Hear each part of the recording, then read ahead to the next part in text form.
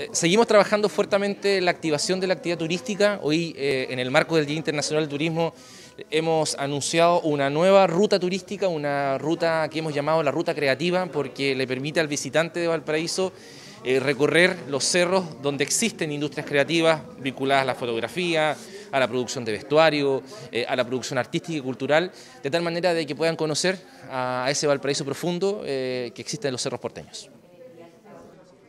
Xochitl Poblete, encargada de turismo de la Alcaldía Ciudadana. Bueno, estamos lanzando un nuevo tour a la comunidad, en este caso en el marco del Día del Turismo, que es un día que nos permite no solamente eh, reconocer el valor del turismo dentro de las vocaciones de nuestra comuna, sino que también reactivar esta actividad que ha sido una de las más afectadas por la pandemia en este último tiempo. El recorrido que lanzamos hoy día es un tour eh, que está vinculado al turismo creativo, que nos muestra eh, distintas eh, posibilidades, distintas experiencias de turismo vinculadas a las acciones o a los oficios creativos de nuestra ciudad. este además es un tour que tiene una, característica especial y es que tiene una intérprete de lengua de señas, de tal manera que además es un tour inclusivo.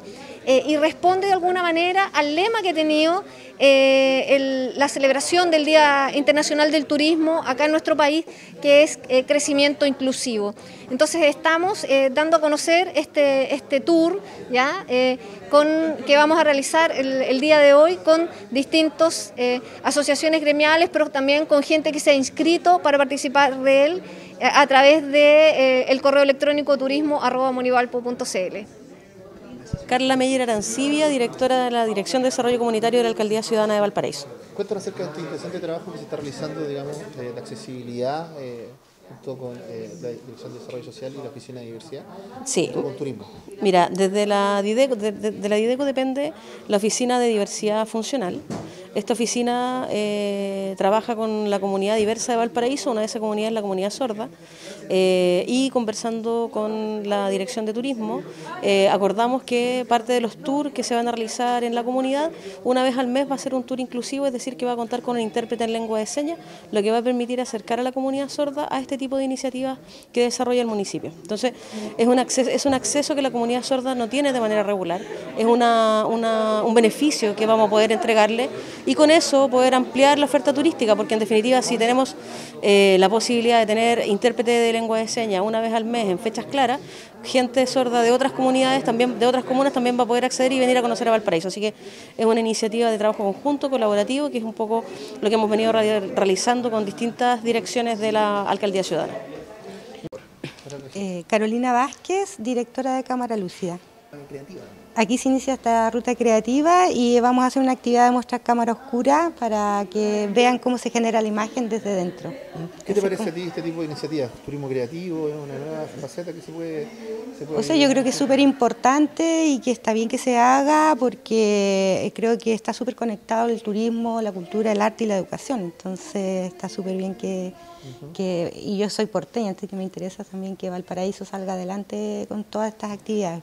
La invitación entonces se la dejamos la invitación así a todos para que puedan venir a la, a la actividad y para que sigan haciendo estos recorridos y todas estas eh, actividades que están planificadas.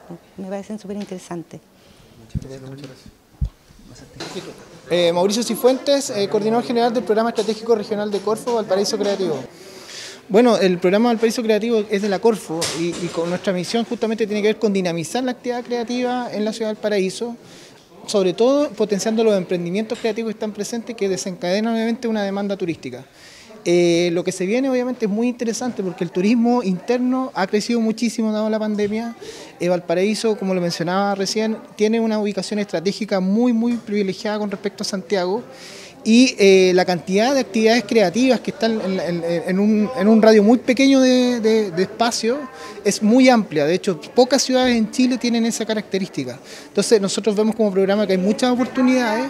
Eh, sin duda hay que trabajar de forma colaborativa y eso es lo que estamos obviamente trabajando junto a la municipalidad y varias unidades de, de ella pero también obviamente se requiere el apoyo de otras organizaciones de turismo, empresas e instituciones públicas que se sumen a esta, esta iniciativa. Así que ese es el llamado, felices de poder partir, se supone que en diciembre, entre diciembre y septiembre del próximo año, o sea, diciembre de este año y septiembre del próximo año, se genera la recuperación total del turismo según cifras de, de FEDETUR. Así que hay que solamente ponerse a trabajar.